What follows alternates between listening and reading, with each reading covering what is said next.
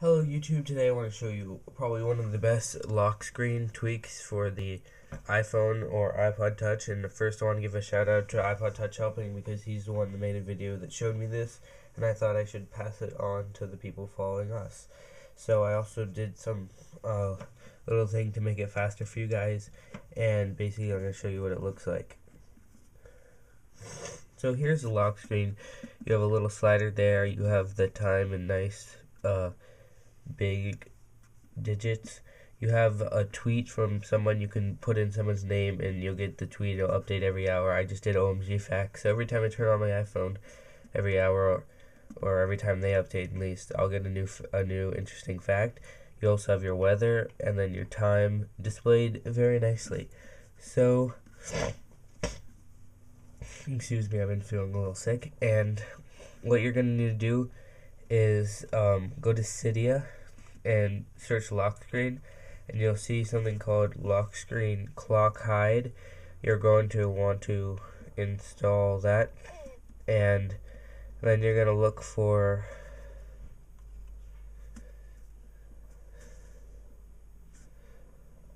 sub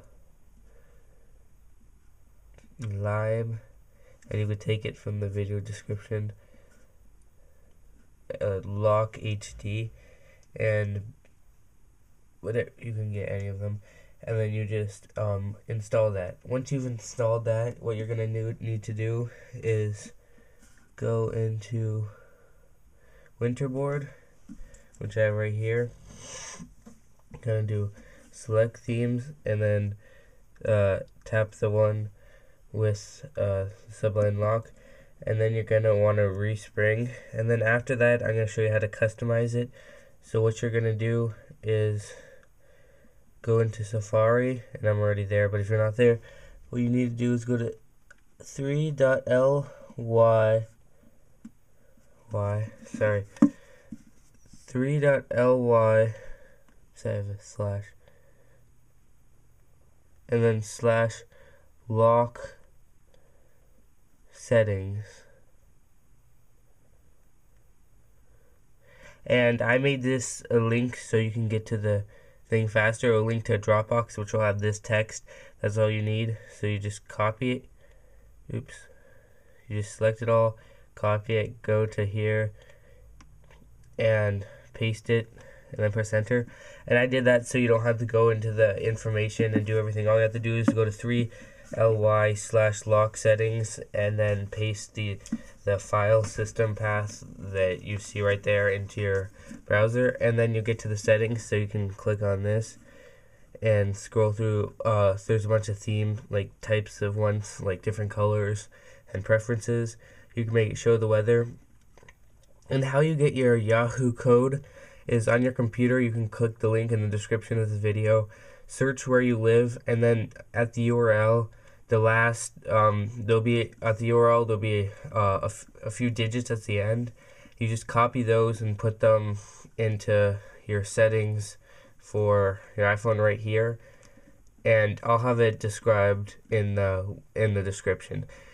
And you're gonna want to choose Fahrenheit or, or it's default Celsius. You can change it to Fahrenheit if you prefer.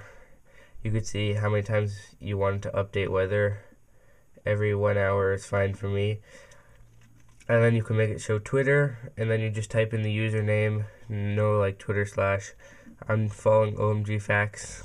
Um, you can do that if you want, or you can follow me iPod Uplink, and then you just you have to hit save. I always forget that, and then it will save it successfully. Then all you have to do is go here, respring.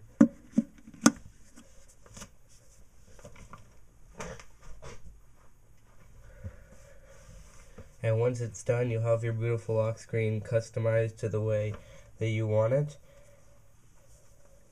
Just gonna wait for that.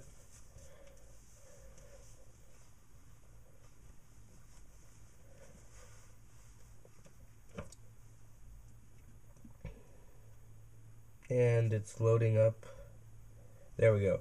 So it's loaded and it's um it just looks really nice. It has like retina display graphics, I believe. And if you like this video, definitely thumbs up. and you can subscribe if you want. That's it for now, and I'll see you guys later.